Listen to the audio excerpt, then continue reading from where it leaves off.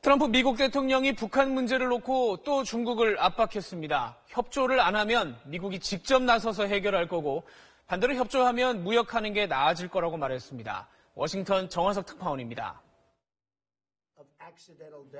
트럼프 대통령이 트위터를 통해 다시 한번 중국에 강력한 메시지를 보냈습니다. 북한은 문제거리를 찾고 있다면서 만약 중국이 북한 문제 해결을 도우면 훌륭한 일이고 중국에 도움이 없으면 미국이 독자적으로 문제를 해결하겠다고 강조했습니다.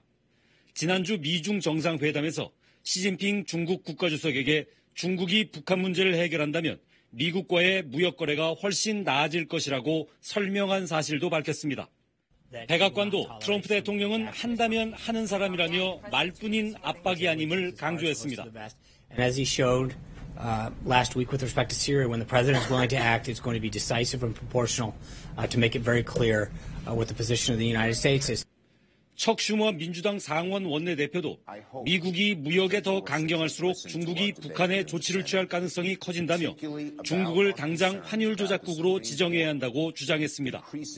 일본 교도통신은 복수의 외교 소식통을 이용해 미국 정부가 북한에 대해 군사 행동을 할 가능성이 있다는 언급을 일본 정부에 했다고 보도했습니다. 교도통신은 미국의 한 고위 관료가 미중 정상회담 전 열린 미일 고위 관료 협의에서 한 말이라며 시진핑 주석에게 이런 방침을 전달할 계획도 밝혔다고 말했습니다. 워싱턴에서 SBS 정화석입니다.